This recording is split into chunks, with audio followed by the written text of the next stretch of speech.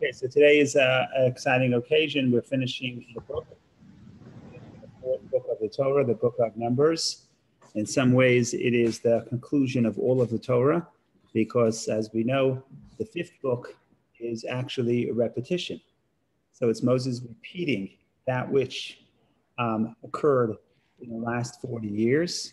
But if you want to think about the actual story of the Torah, um, we, we got we, the, the book has been concluded. In other words, if you think about the history, where does the Torah end? The Torah ends when the Jewish people are at the Jordan River, about to cross into the land of Israel. That's when the plot ends. The plot then picks up in the next book of the Bible, which is the book of Joshua, which opens up after Moshe's passing. So we are now reading the conclusion of the fourth book. And the fifth book, next week we'll read fifth book covers the last 37 days of Moses' life. And he got, gave a 37 day speech. Well, I don't know if he spoke all 37 days, but over the 37 days, he repeated the entire Torah and explained it as we will discuss in the past. All I'm trying, as we will discuss next week, all I'm trying to say is that in some ways we're the conclusion. And because we're the conclusion of the Torah, you also have, uh, as we will see, the second parsha is Masei. We recount the journeys, the 40 journey, the 42 journeys that the Jewish people traveled in the desert. And we also have all the, the specific laws that are discussed in this parsha also have to be understood in the context of um, the approach we're about to approach the land of Israel. And of course, it also, it also affects the episodes that we will discuss in these two parshas. So the two parshas together are relatively long, a lot of details but read the portion in a nutshell, and then we will see what we want to focus on um, by, I guess, by democratic decision. If anybody has any preference, you could just share, and uh, we'll try to focus on that. So here we go. I'll try to share the screen. so this is Matot and Masei. This is the last two portions of the book of Numbers.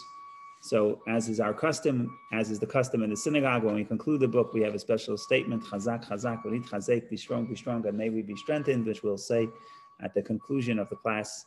But in any case, Moses conveys the laws governing, governing the annulment of vows to the heads of the tribes of Israel. So that's the first, the first, the first um, subject of the Torah. Wars of the Parsha. War is waged against Midian for their role in plotting the moral, the moral destruction of Israel. And the Torah gives a detailed account of the war, the war spoils, and how they were allocated among the people, the warriors, the Levites, and the high priests. So this is a continuation to last week. Last week we read both Pinchas and Balak. We read, read about the Jewish people uh, strayed after the daughters of Moab, but now we know it's also the daughters of Midian. And now, sort of, is the war to avenge the spiritual, um, how do I say this? The, the, the moral destruction. So we avenge we go to war against Midian. Why don't we go against war against Moab? They're our cousins. We can't. We go to war against Midian. And the Torah spends a lot of time discussing the specifics of the war, the spoils, how it was allocated, etc. That's a there's a lot of numbers there. In any case, then we get to the episode. The tribes of Reuven and Gad, later joined by half the tribes of Manasseh, ask for the lands east of the Jordan as their portion in the promised land, these being prime pasture land for their cattle. Moses is initially angered by the request, but subsequently agrees on the condition that they first join and lead in Israel's conquest of the lands west of the Jordan. So, just to picture what's happening here, Imagine all the Jewish people are camped at the Jordan River, opposite Jericho, ready to cross the Jordan and enter the promised land. And all of a sudden, two tribes say, We don't want to go into the promised land. We're perfectly happy right where we are. We know already from last Parsha, last really last two, three Parshas, that that land east of the Jordan River, which is modern day Jordan, that land was conquered by the Jewish people because there were two kings that tried to block the Jewish people's passage, Sichon and Og. The Jewish people conquered that land, and now we have a vast amount of land which is perfect for pasture. And there were two tribes who have a lot of cattle, and they say, We don't want to go into Israel. And Moshe sees this as, as this terrible crisis because he remembers the trauma of 40 years earlier. What happened 40 years earlier? The spies didn't want to go into Israel. What was the result? We were delayed for 40 years. So Moses goes into Moses is uh, is is is very upset. But then the people agree that no. Well, we'll read the, the details if we have time. The people sort of say, no, you misunderstood us, or you didn't misunderstand us, depending on how you read the story. But in any case, they agree that they will go first in war. They're not afraid of the battle. They're not afraid of the battle. We're not, we'll go first on condition that we get this land because this land is for us. That's what they felt. Moshe agrees. That is the first portion, the portion of Mato. And now we, go, to the final portion, portion of Masei, which literally means journeys, and also a lot of names and technicalities. Here we go. The 42 journeys and encampments of Israel are listed. So we literally get a list. They left from this place, they camped in that place. They left from this place, camped in that place. 42, 42 places. From the Exodus to their encampment at the plains of Moab, across the river, from the land of Canaan. In other words, opposite the river, opposite the Jordan River, across Canaan. The boundaries of the promised land are given, and the cities of refuge are designated as havens and places of exile for inadvertent murderers. So the story, of course, is that if somebody kills someone by mistake in ancient Israel, the law was that the, the, the, penalty was not penalty. The, the result was that if you kill someone by mistake, the relative is able to avenge the blood of the of the of the victim, and you could and he can kill you. What you can do as a as a inadvertent murderer is if you run and you hide and you live, you don't have to hide. You live in one of the cities of refuge you are protected as long as you stay in that city. So we'll talk about that and what the significance is and what the what the value of that is. We'll get to that later. In any case, one more story. It sounds like a technicality, but the daughters of Tzalafchad marry within their own tribe of Menashe, so that their estate, which they inherit from their father, should not pass to the prov- province of another tribe. Last week we read about the issue. There was a man who died who had no sons the daughters, the five daughters, his five daughters approach Moses and they say, We want to inherit because we don't have a father. Moses goes to God. God says they are right. And that becomes part of the laws of inheritance. Now there is a problem. The members of the tribe, of their tribe of Menashe, they're afraid. They say, One second, these women are inheriting land amongst the tribe of Menashe. If they marry out of the tribe, what's going to happen is that because the tribe follows the um, um, the father, the paternal line, our land will transfer to another tribe. So they complain to Moses. So Moses says, okay, you know what? A, a, woman who inherits land should marry within her own tribe. The commentaries explain that that was specific for that generation. Only when we enter the land of Israel was it important that the division of tribes be um, kept uh, um, and be and be and be um, what what is you know what's the word I'm looking for should be should be complete. Afterward, however, intermarriage between the tribes, which would allow for the the um, estates to travel between tribes, actually is is actually probably a good thing because that allows for the uh, connection between the tribes that they should be literally mingled between each other and not just specifically um, and, and not just completely separate. But that's the rabbinic interpretation. When you read the verse, it basically it seems like it says it says that's the law, but the rabbis say, well, that's only that's only the that's only the that that was for that generation specifically. In any case, that's the conclusion of the book, and we'll see later why is this episode of all episodes the conclusion of the book. So we have a lot to talk about. Thank God. We're not going to be bored for the next 45 minutes thank God. Um, if anybody has any specific uh, themes you want to address, you want to raise, please do. Otherwise, we'll, we'll see what happens. It's a lottery. We'll just put something, pull something out of the box and we'll go. Go ahead, um, Fega. Uh, Rabbi, I have a quick question. It's not about the of the actual parsha, but uh, you mentioned that the, the, relatives of somebody who was killed by mistake can go ahead and um, and may or may kill that that person, although he did murder by mistake. So how does Torah view that? Is it something that that will be prosecuted, or this is something that encouraged? So what does the Torah say about it? If not here, maybe somewhere else. That's an excellent question because it raises it, it, raises some interesting questions. So how about we start from there and we'll branch out. So we'll sort of start from the middle. Um, Ricky raises a few technical questions. I, will address the technical questions to the best of my ability, and then we'll try to uh, address the, the, the, the, philosophical question of what exactly the city of, of, refuge is doing. So, and why it's here, why it's so important that it's right here. And you'll see later that this is the law of the city of refuge is something that it, Moshe emphasizes no less than three times. It's written in this parsha, and it's written twice in the book of Numbers, of Deuteronomy, in the fifth book. It seems like something that we keep emphasizing, and the question is how come? But let's deal with the technicalities first. Um, the way you read the story literally, it seems like the scenario is if somebody kills someone by mistake, they could go and the relative has the right, doesn't say obligation, but has the right to go and kill the inadvertent murderer or avenge the blood that we would call goel hadam, redeem the blood.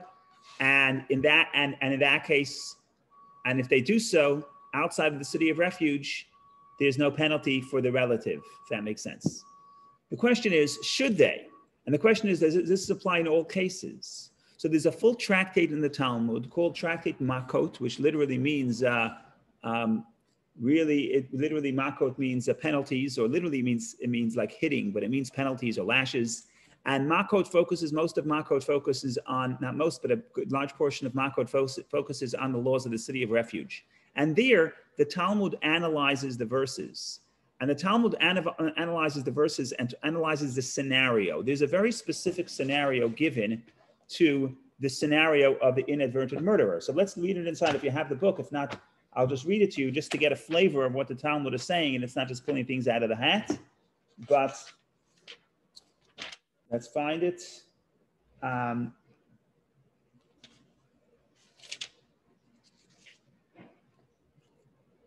if you look, if you have an ArtScroll, you can look at page 929. If you don't have an ArtScroll, not that ArtScroll is not an, an endorsement for the ArtScroll, but in any case, it's just convenience. But it's chapter 35 of the book of Numbers, chapter 35, verse, verse, I guess we'll start from I guess we'll start from verse 11, but we'll skip in a moment to verse to verse 16. So you know what? Maybe I'll pull it up for the benefit of those who don't have the book in front of them. We'll do it quickly. Um, Shishi Masei, um, text and summaries, um, Torah reading. Shishi.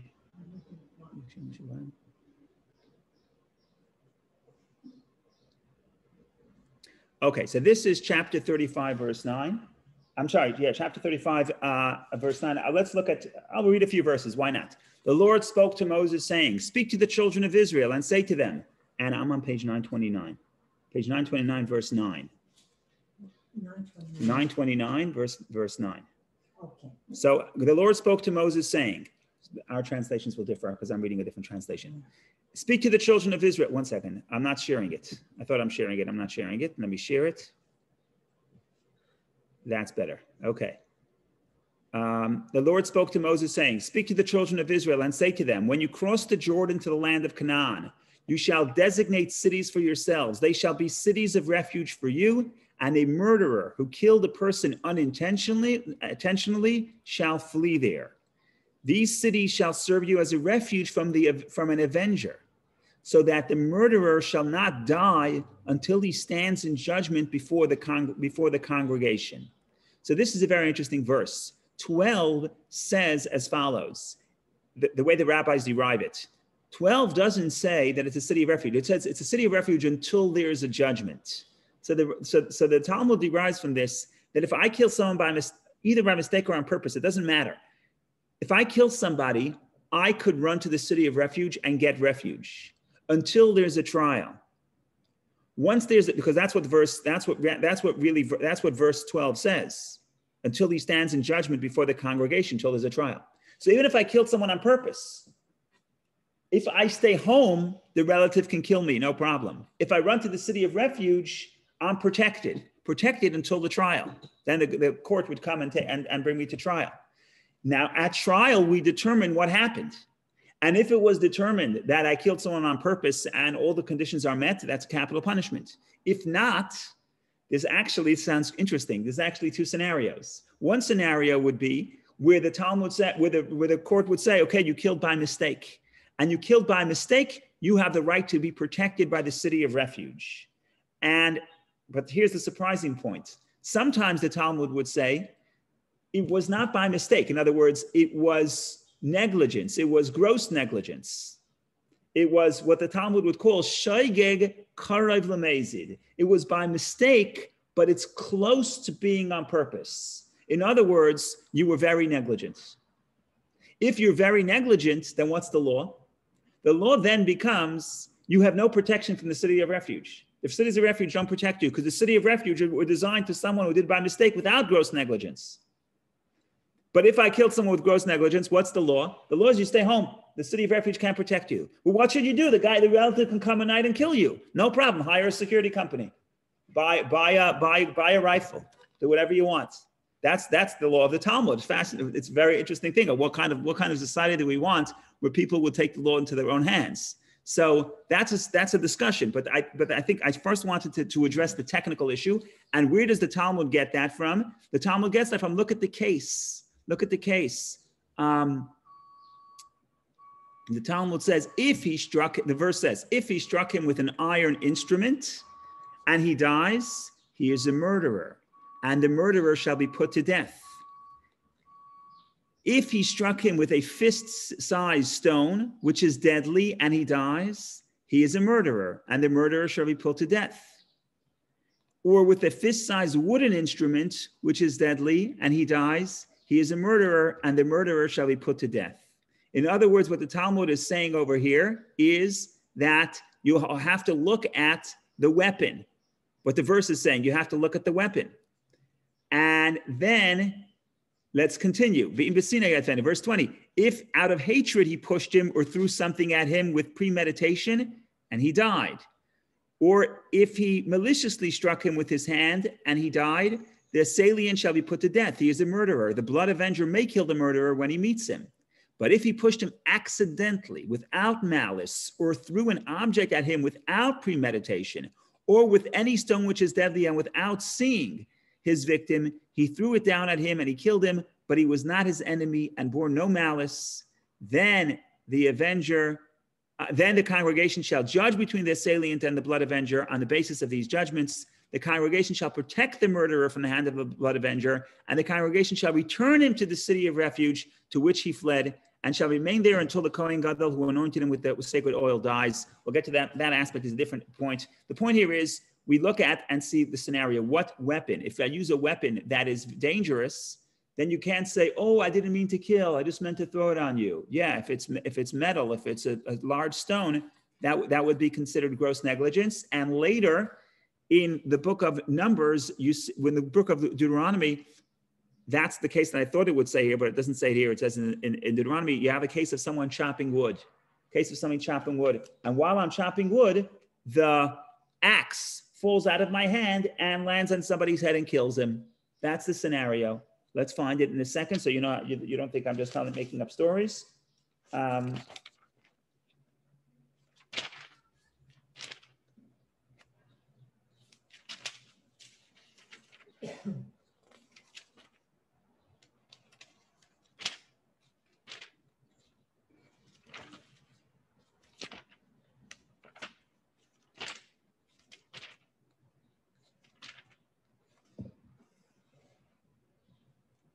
Okay, if you want to look, I'm not, if you want to look, it's at, in Deuteronomy, it's, if you have an ArtScroll, it's 1035. Otherwise, it's in Deuteronomy chapter 19, verse 5. Deuteronomy 19.5. Let's see if I can find it. Deuteronomy. 35, verse what? On page 1035, it's verse 5. So I'm looking at, it's on the screen, Deuteronomy 19.5. As when a man goes with his fellow into the forest to chop wood, and his hand swings the axe to cut down the tree, and the iron flies off the handle, and it reaches his fellow, and he dies, he shall flee to one of these cities and live. And we continue to, to, describe the laws of the city of refuge. So the Talmud, we now don't have time to go into every detail here, but the Talmud analyzes both this case, both this, these verses and the verses in our parsha, and combines the two and says, we're talking about a specific case. We're talking about someone who kills by mistake, but it's not gross negligence. Gross negligence, you don't have protection from the city of refuge. What do you do? Protect yourself. How would that help? What kind of society? We'll leave that for a moment, but that's just a technical issue. That's the, I'm sorry. So first thing we address the technical issue, who is covered by this city of refuge? Now we want to go to the moral question, um, not the, the value question. What is the Torah saying and why is it so important to emphasize the cities of refuge and why is it so important to do so three times from here in the last 37 days of Moshe's life? Moshe speaks about it no less than three times. And one of the theories is as follows The problem, anytime you have a big idea, and building a state is a big idea, we're going into the land of Israel, we're building a society. So the problem becomes is that now we have a national goal. And the problem with national goals is we don't suffer so much, so much from this problem in the West today, but just a, a few generations ago, this was common. You think about the goal, you lose sight of the individual. So you say, look, we're building we're building a society. So what? There's going to be accidents. People are going to die by mistake. But it's too bad.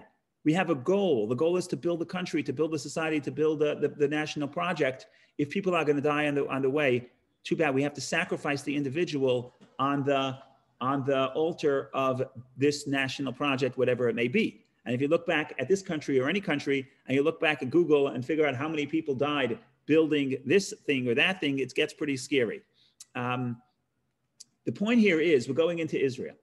So we're sort of forming this collective country. What does the Torah say? Make sure that the state understands, or the people understands, building the state understands that the foundation of the collective is the individual. So you can't sacrifice the individual on the altar of the collective. You can't say, look, we have to build a country. So if you're building and by mistake you kill someone with the axe, you should get a medal. Why? Because you're building for the country, you're building the state. So what does the Torah say? No, no, no. The state's only power is that, is that it protects and values the individual. So if I kill someone by mistake, the city of refuge, the institution of the city of refuge tells you, reminds us of the value of the individual that even if someone is killed by mistake, there is a penalty. And even if he's killed by mistake in the context of doing something grand and great and holy and amazing, like the building of Israel, a building of a national project. No, the, the, the Torah is telling us that we have to be mindful, even in the process of building the country, you have to be mindful of the, of the life and the value of every individual. And therefore, even when you're building, even if you have a good cause to build, you have to be um, super careful. Make sure nobody's passing under you when you're chopping wood. And if you don't, then even though you're, it's not gross negligence, but you still have moral responsibility, and therefore you still need atonement, and you still need to go to the city of refuge, and um, you still need to go to the city of refuge, and you will uh, be, be, be, be atoned for. But even though there's a good case to make, it's not my fault. It's not my fault. I'm, I'm doing it for a good cause. I'm building the country. It was by mistake. It was an accident. Okay. But what the Torah is telling you here is to build a moral society, you have to be you have to be um, you have to be super sensitive to the right of the individual because there's no value to the collective. The only value of the collective is that it protects the individual. You can't sacrifice the individual. So that is why Moshe is emphasizing this three times, no less than three times, in a matter of a few weeks. So I thought that was a, that that's a that's a very nice interpretation.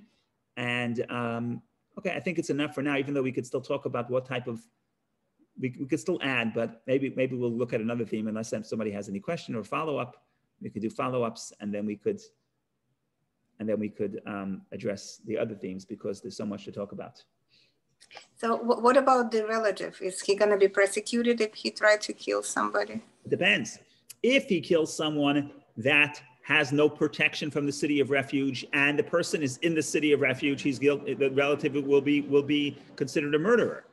But if we're talking about a case where they stood trial and the court said either that this person is not entitled to the protection from the city of refuge because it was gross negligence, according to the Talmud, or that the person is entitled to, to, to, protection from the city of refuge, but this person just left the city of refuge and the relative finds him and kills him, the relative is off the hook. Now, should the relative kill him is a separate question. The Torah doesn't say that. And I, I, I have what to say on this. I just hesitate to say it because I don't know if it's true. But uh, I can tell you my theory, but, but my theory is just as good as anybody else's. Certainly not better, maybe worse. So um, um, I don't know. Let, us just think about this for a second. Um,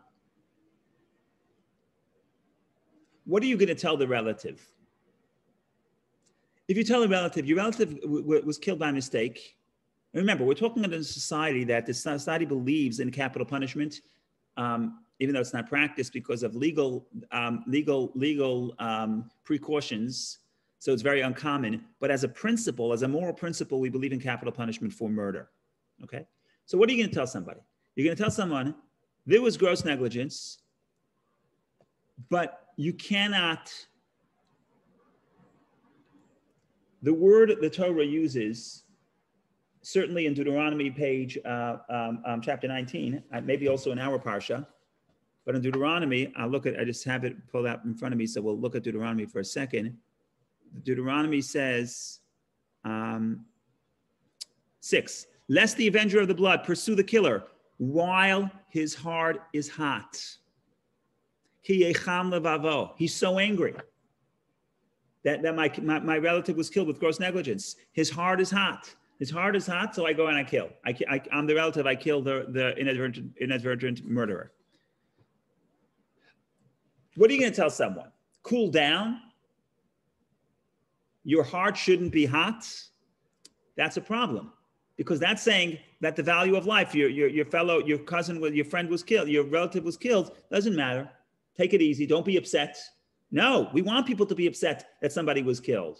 We want your heart to be hot. On the other hand, we don't say you have to kill. We say you can. What's likely to happen, in my view, is if I can kill, only me, not the court, I can't outsource it to the court. I can kill, then I'm not going to kill. Do you see what I'm saying?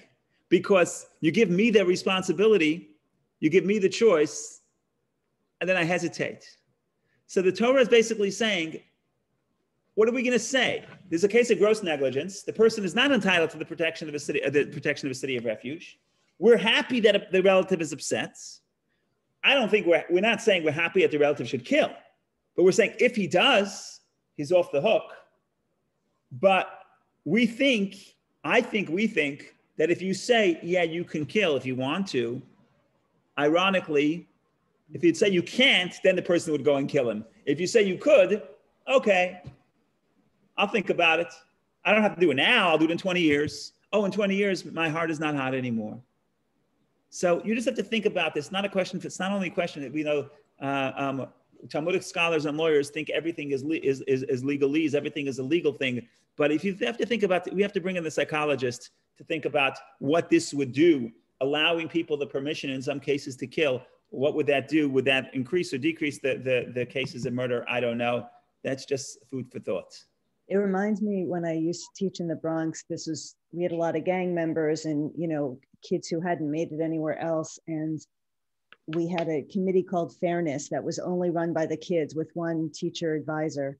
And when the kids got upset with each other or with a teacher or a teacher with the kid, they could bring the person to fairness. And this was only kids making the decision. And 90% of the time, when the kids were upset, they'd go storming out of a classroom, cursing at a teacher. And I could go up to them and say, But you can bring the teacher to fairness. And they'd go, Oh, okay. And 90% of the time, they didn't take them to fairness, but they knew they had the option and all the anger disappeared. Right. Right. On the other on the other hand, I used to go. We, we, used to camp in northern Michigan, and there was a true story. I must have been uh, 14, so I was a little shocked that there was a, attendant in the gas station next to the camp. And he was talking to us, and he says that the, his parents were in a car accident, and they were seriously wounded, and the guy didn't even get a ticket.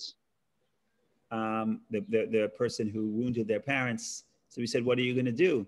He said, Just going to wait for the hunting season. I, So uh, that's that's the other side of the coin. So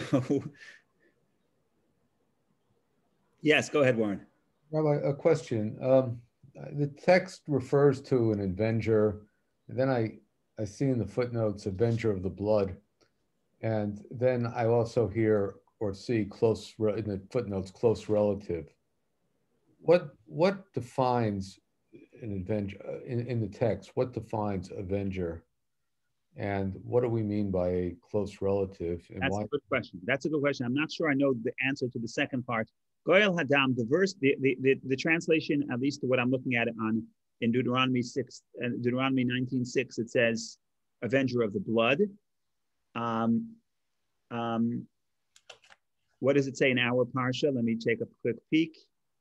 Goel Hadam, also the blood avenger in our parsha, which is which is verse uh, Numbers 35, verse verse 16, verse 19, it says avenger of the blood. Now, what exactly is a close relative? I don't I don't know to I can't say offhand. What I would say is all throughout the Bible, including the five books of Moses, a redeemer is a relative. What are some of the cases? Some of the cases at the end of the third book, there's a scenario where if I sell my uh, inheritance land, a relative can come in and buy it back because to keep the field in the family. That's called a goel, a redeemer. It's very famous in the book of Ruth. The book of Ruth was the book where um, Ruth, Ruth, Ruth's husband really dies, and we know that there was the mitzvah of the Levirate marriage, which now, after the giving of a Torah, applies only to a brother, but but but but in, in biblical times the obligation only applies to the brother. But in biblical times the custom was that it would be any close relative the closest relative. And if you read the book of if you read if you read the the the book of ruth ultimately the person who ends up marrying her is boaz who's a distant relative but there was a closer relative and the closer relative de- declined to marry ruth even though he should have. And therefore, they had to go to Boaz, had to say to the closer relative, do you agree to, to, to, to, to give me the right to do the Levirate marriage? And the, and the, and the, the closer relative says, I w- I don't want to marry her. So then Boaz, who's the distant relative, ends up marrying her, distant relative of her deceased husband. Over there, the closer relative goes nameless, goes nameless, Almoni, which means just a, a uh, John Doe. We don't know, goes nameless, but it refers to him time and again as Goel, the Redeemer. The Redeemer. What does mean, a Redeemer? Redeemer, so it's not just in the context, Redeemer of the blood means someone who's coming to avenge the blood. But a Redeemer in, in, the, in the Bible means I am a relative and it's my job to step in for the family when something is needed. What is that something? Well, it could be to kill the, to, to take revenge. It could be to redeem a field who because um, a family member fell into poverty and sold the, the, the, the ancestral land. I want to buy it back. Or it could be uh, for, the, for the purpose of marriage because the, the woman's husband, my relative died. And so and a relative has to stand in for the deceased husband. But you see that that's the term goel. Now you're asking me regarding the option to kill a relative, is there a limitation of how close you have to be? Short answer is I don't know. Short, the longer answer is I have to check. Um, so yeah, so I don't know.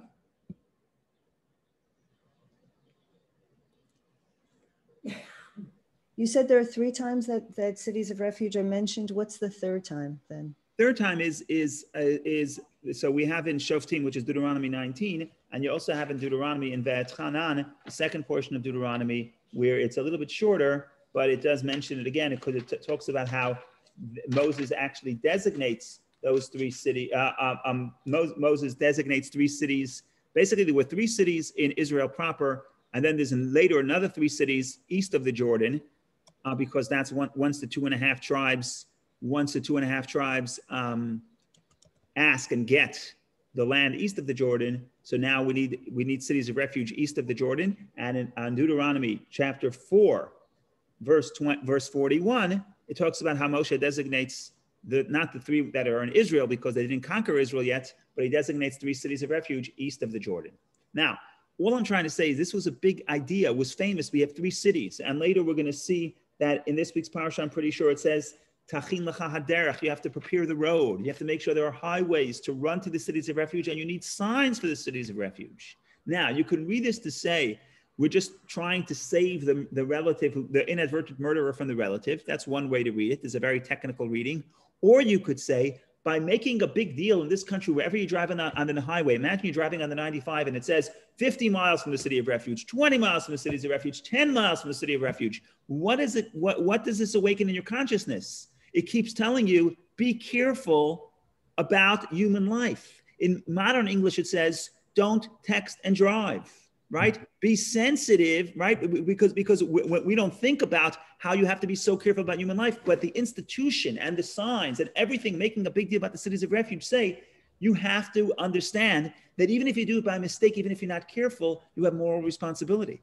And therefore the more the more the society that's built around that it has to be divided exactly to divide israel into thirds then you have to equal, divide the cities equal distance from each other and from the borders of Israel. This is whole institution of the cities of refuge. What? To protect the 10 people who killed by mistake? No, it's that, that too. But it's to inculcate within the population the importance of human life. That even taking human life by mistake with negligence, even if it's not gross negligence, the gross negligence certainly not, but even some degree of negligence is is is is, is a difficult problem, is a moral problem. Go ahead, Warren.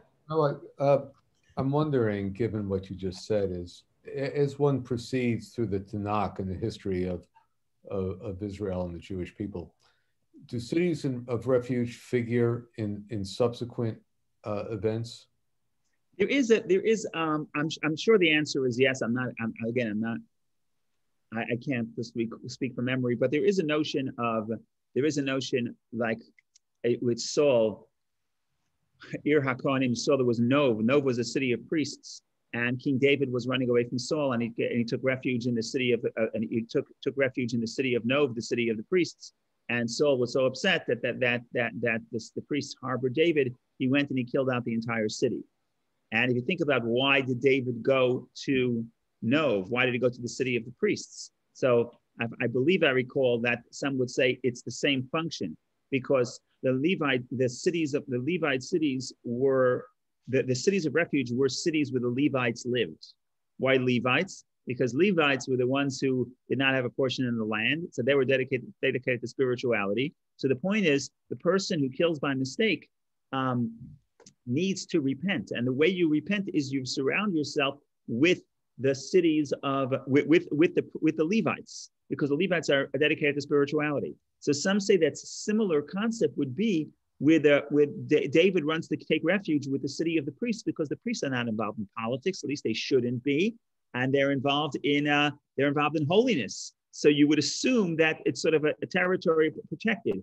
Saul violates them and kills out the entire city. Even today, you open the news and you, you hear about the people who who are uh, let's say running away from immigration, they would try to find refuge in a church. Right? Where does that come from? People would people would view a house of worship to be a place where could you suspend your regular politics and make us make a sacred space? And in some sense, the city of refuge is that because it's it's the Levite cities. That's part of what creates the rehabilitation for the inadvertent murderer, which we said from our perspective, inadvertent murderer is only you still have moral responsibility because you were when it comes to human life, you have to be careful to the extreme. By the way, I made a mis- I didn't make a mistake. I missed something when you go to court, there are cases where, just like I said, there's gross negligence. I don't know the legal term in English, but the, the Hebrew term, so you have shogeg, you have a mistake that's close to on purpose, but you also have a mistake that's close to onus. A mistake that's also that's close to onus means that you were forced, it was against it was against your will.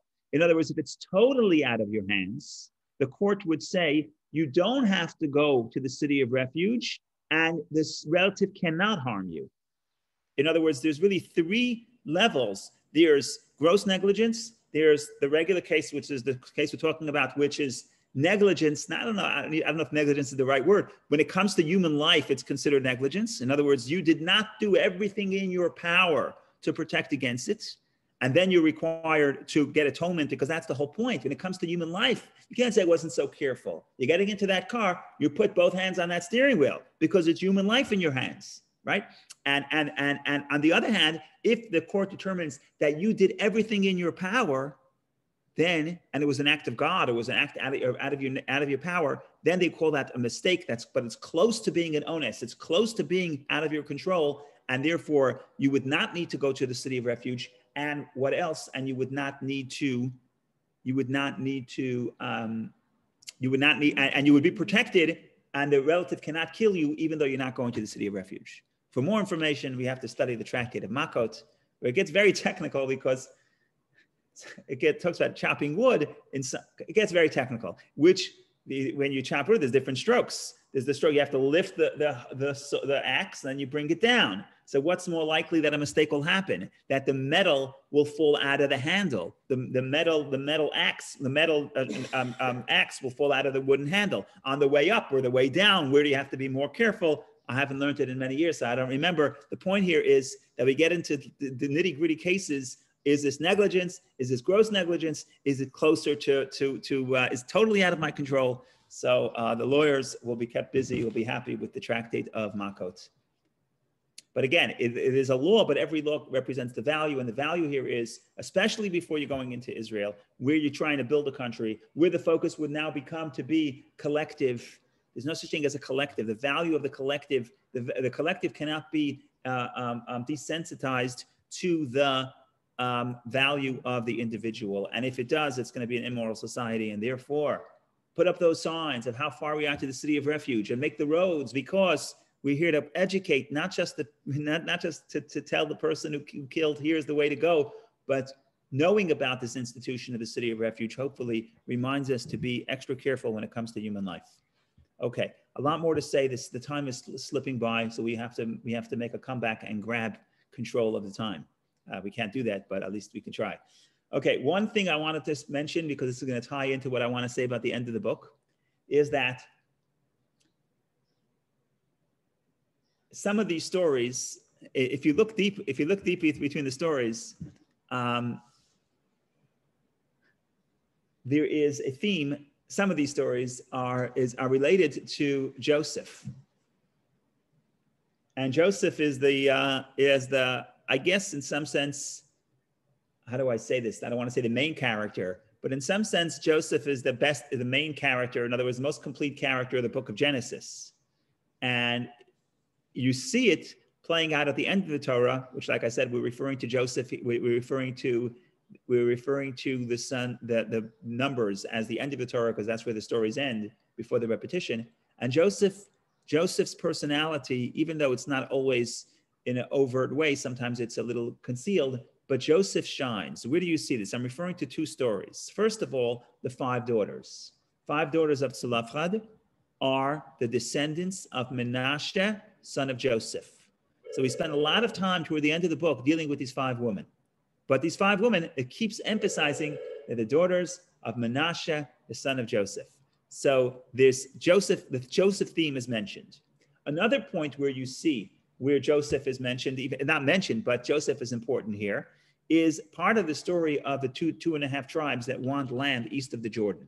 So what happens is two of the tribes want east, want land east of the Jordan, and we're not going to go into the negotiation between Moses. Moses is a very good negotiator. He gets a very good deal from his perspective. He gets them, the, the people of, of Gad and Reuven, to go first. But the point here is this: two tribes ask to go east of the Jordan. Moshe himself is upset. He's not happy that the, that the tribes want to be east of the Jordan. Um, history tells us that the fact that they wanted to go east of the Jordan was not such a good thing. Why? Because the, the, the, the Torah points out that later, when the 10 tribes went to exile, the 10 tribes were exiled in the times of in, in, in the era of the king of Assyria. So it's about 600 years after they entered the land. The 10 tribes went to exile in waves. And the first wave was the two and a half tribes that, who were east of the Jordan. And the verse says, Nachlam because they rushed to get their inheritance east of the Jordan, the first one's in, are the first one's out. So it indicates that it wasn't such a great idea. It wasn't so it wasn't it wasn't so positive that they went east of the Jordan. Ultimately, they're going outside of, of Israel. They're going outside of biblical Israel. So it's not such a hot idea. However, there's a very strange phenomenon. What's the strange phenomenon? That we end up, Moshe ends up giving not two tribes, the way the two tribes who asked to be east of the Jordan, Reuven and Gad, but Moshe gives it to Reuven, Gad, and half the tribe of Manasseh. One second, why half the tribe of Manasseh? They don't want to be east of the Jordan. They want to be in Israel. Why are you putting half the tribe east of the Jordan? So it's not clear. One answer is that Torah does not address this issue. One answer is, well, Moshe says, oh, we're already allocating this land. We have so much land here.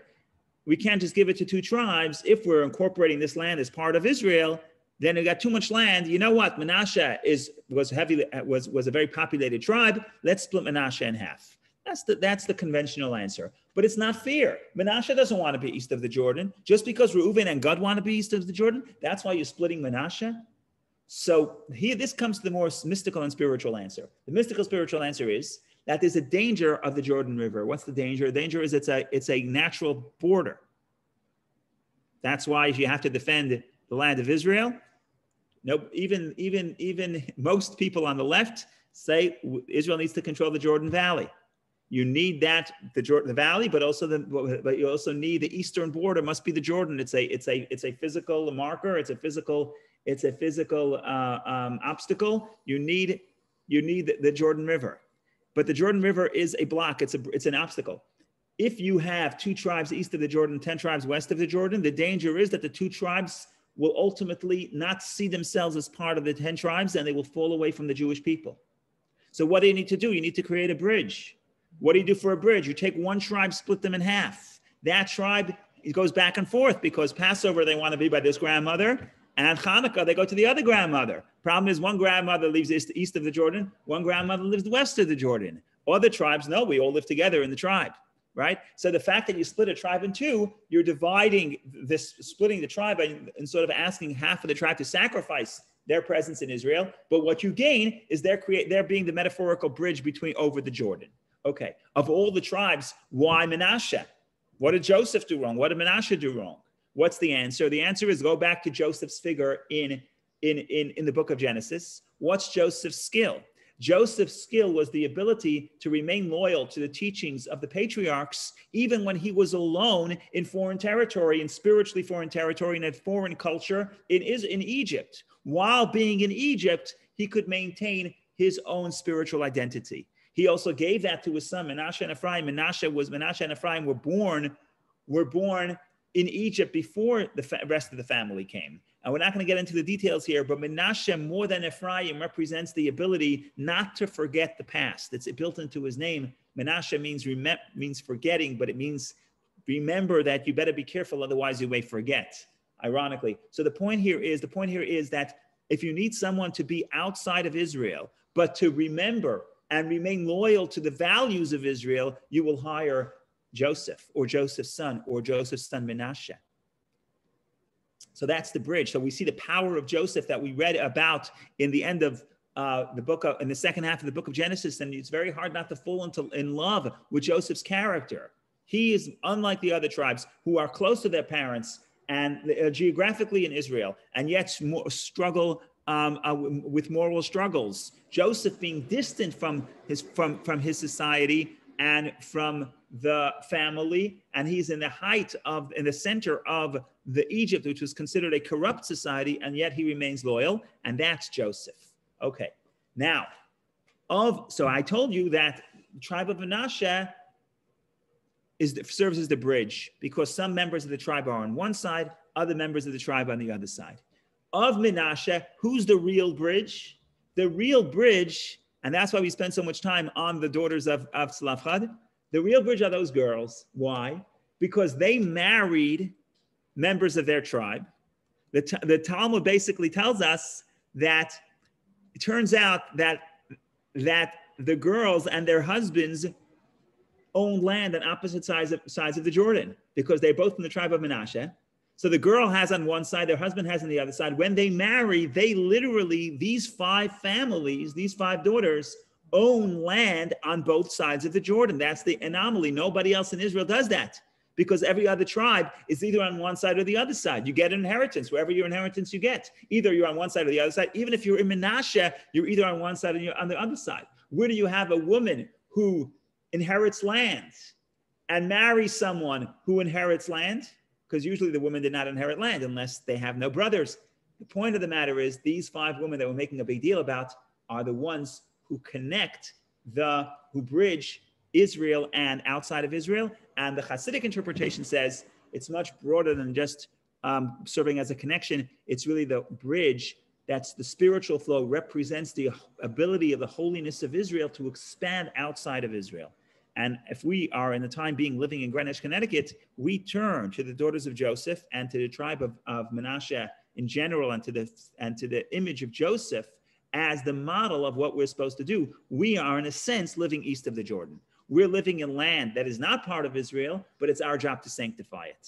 So that's that really the conclusion of the four, fifth book is that we, uh, the fourth book is that remember that the holiness of Israel does not have to be trapped within Israel, it can expand. If you follow the, the personality and the, and the, and the example of Joseph and his son Manasseh, and especially of the five daughters who we say they had a great love for the land of Israel, then you can actually expand, expand to outside of Israel.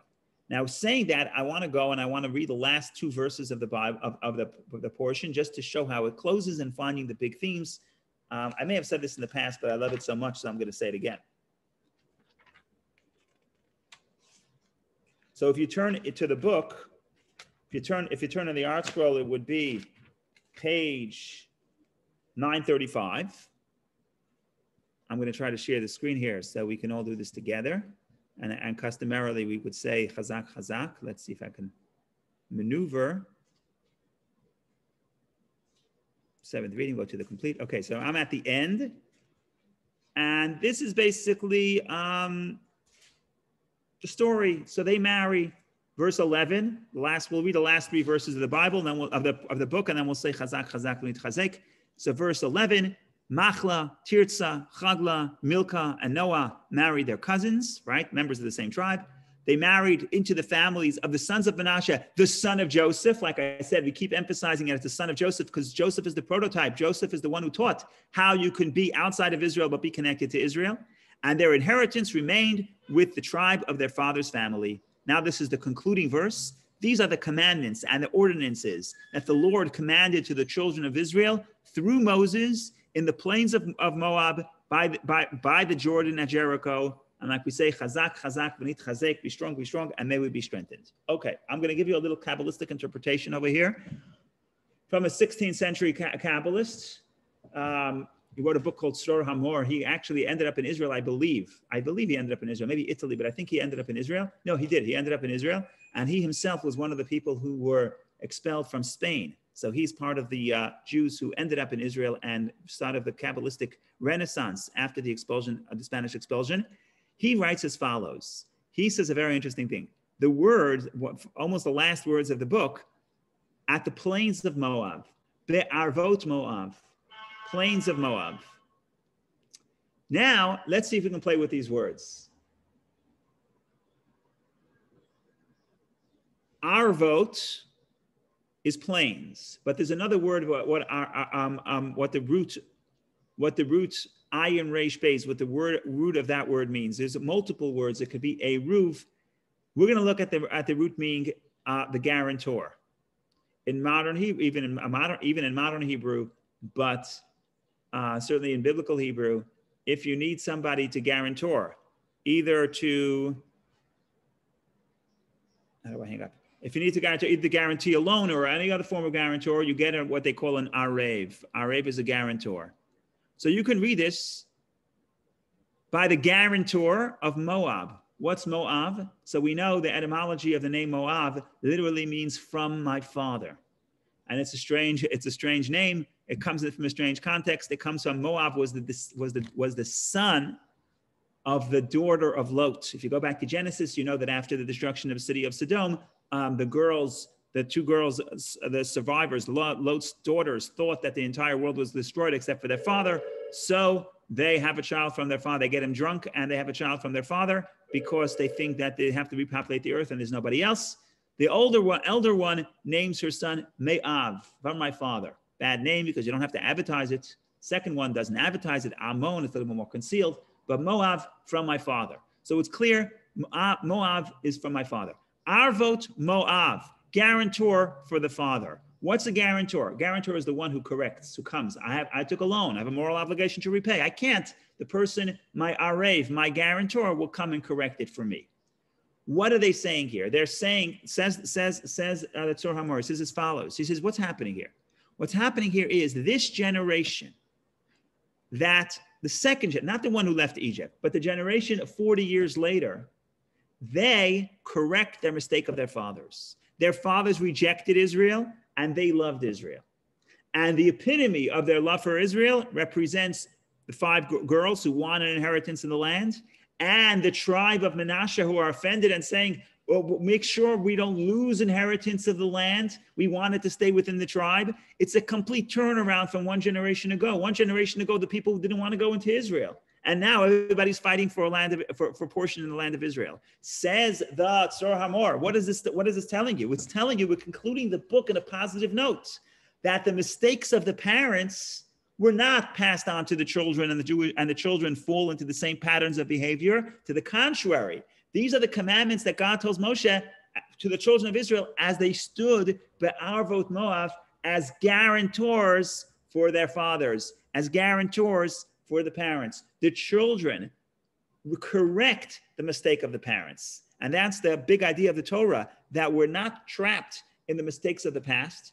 Just we don't have to we don't have to suffer from intergenerational trauma. We have the ability to correct the mistake of the parents, and by doing so, we also bring peace to their souls because we're correcting the mistakes of the past. And if you read it this way, then we're concluding the Torah in a very optimistic note because otherwise you especially this book the book of the fourth book is a book of failure people leave egypt they're leaving away from sinai. In the beginning everything looks optimistic. And the second they step away from sinai everything spirals out of control culminating in the idea of the rejection of the land of israel and the and, and, and the decree that they will be reject and that, that they will not be allowed into israel. So it's a very depressing book. So the last verse says don't worry. In the big scope of history children will correct the mistake of the fathers, elevate the mistake of the fathers, and ultimately come to the other meaning of our, our, our votes. Plains, it means plains, it means guarantor, it also means sweetness, it also means interconnected. It's a fascinating word. We discussed it sometime in the past, but I think that this is a beautiful end for the book because it ends in, a, in an optimistic note. The people who sinned it's not the end of the story for them. The people who died in the desert, it's not the end of the story for them because their children have the power to correct. If they learn from the mistake and they correct correct the mistake, they actually elevate and bring peace to the souls or their of their of their forebearers.